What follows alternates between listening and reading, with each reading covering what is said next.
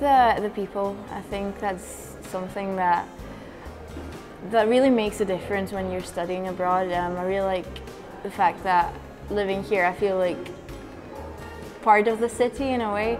So um, being able to interact with people from all over the world and um, just the way things work just make me feel really happy. So. So I enjoy the social life. Um, I like the, the, the city of, you know, you have many activities to do here in the city. Um, I spend some time in the center with my friends or my colleagues.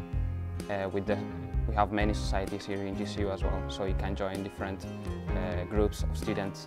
Um, there is an international, uh, for example, club for Erasmus students, and um, you have one uh, specifically for, uh, depending by your interest on sports and uh, or if you have some specific hobbies you can join one club. Because it's a very young city and it's not um, extremely expensive, so it's good for, for a student budget, let's say.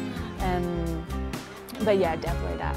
Um, there's so much to do also like sports-wise, and so there's always something to do. favorite thing in Glasgow is actually walking down Buchanan uh, Street because there's always full of people, so busy, everyone going to stores and talking and having lunch. Like it's incredible the amount of people here and it's incredible the amount of young people because this kind of seems like a university city uh, full of students. So I think that's my favorite thing to do here.